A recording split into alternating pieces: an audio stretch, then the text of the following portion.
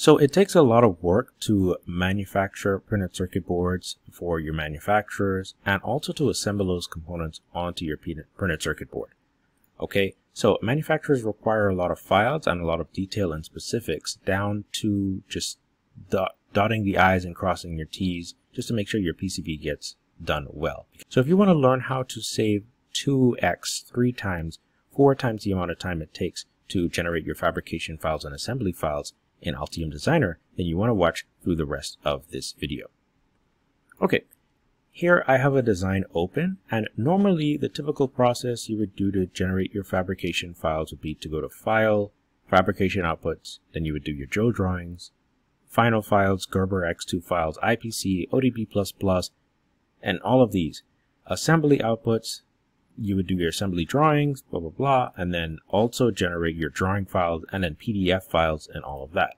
Now here's the thing. If you get one mistake, if you make one mistake on your design, for each change or modification, you need to go back, make your changes, and then regenerate all of the files all over again. That is just a nightmare to me. That is a creativity killer, and it saps my motivation.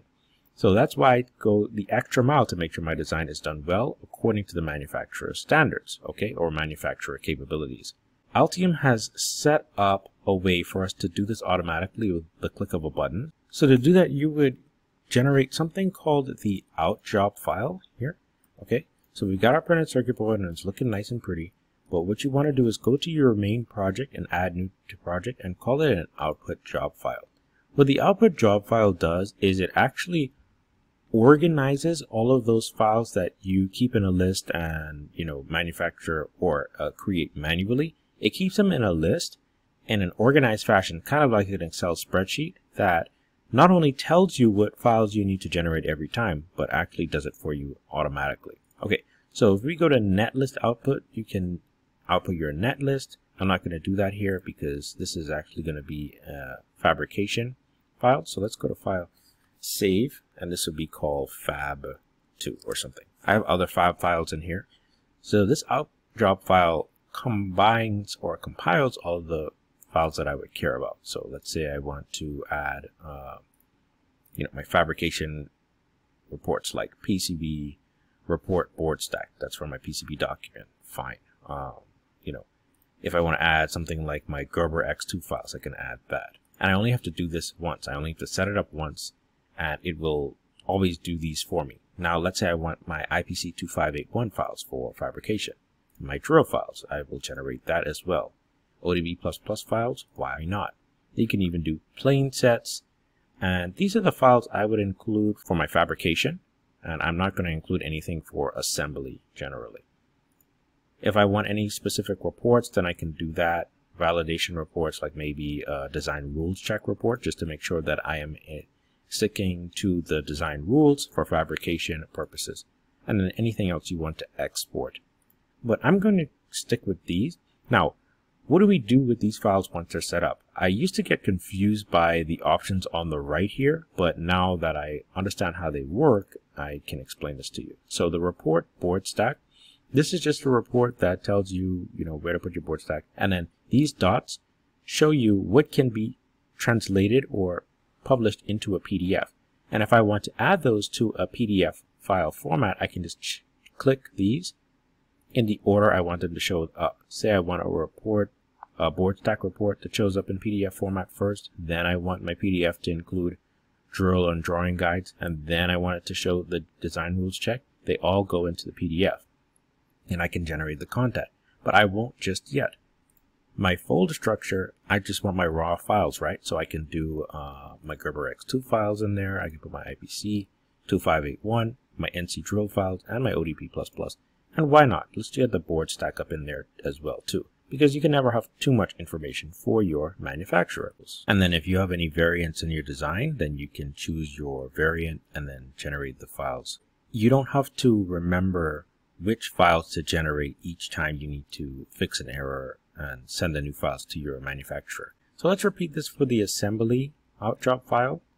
Here I have an assembly outjob file generated already. All you have to do is right click, add new to project, and then choose your outjob file, give it a name assembly, and this is what you get. Then you can set your items for assembly. Typically, I generate a netlist for my assembly files. Then also for for my assembly, I do a PCB 3D print in PDF format. Then also assembly drawings, you know, I add those as well to the PDF. You can generate pick and place files. You definitely want your pick and place files for your report. Okay. And then here's the test point report. You also want those as well because uh, if you can get a board tested, make sure you do it. You know, why not? Okay. So these are all the files that you would want at a minimum for your assembly files. But it does not end there. I did say earlier in this video that you could do all of this with the click of a button. Here's the thing. Once you've set up all your files manually here, yeah, you set them up manually. You only set them up once. Then you go to your project, right click it, then you can do the project releaser. This is where the magic happens.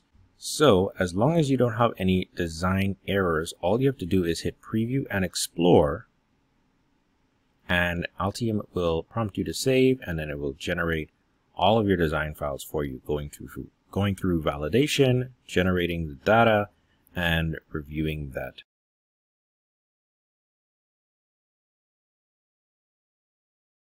And then once it's done generating your files, it has these nice folders to hold your assembly files, your schematic prints, your assembly drawings, and then you're able to like navigate your design.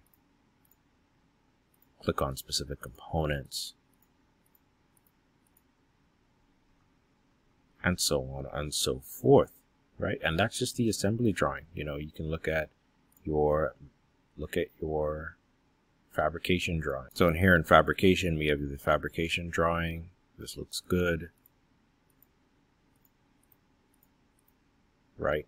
and then you're able to like go to different parts of the drawing based on what you click. So it's really nice to have this smart PDF, have your NC drill files, and everything all packaged up nice and neat so that your manufacturer can have an easy time creating your printed circuit board. If you're not using Altium Designer, no worries, because if you go into the link that I provided in the description below, you can actually get Altium Designer for free and then try it out, test it out, learn how to use it, add the skills to your resume, become more attractive in the PCB design job market. And if you're trying to buy Altium Designer, you do get a really nice discount by using the link in the description below.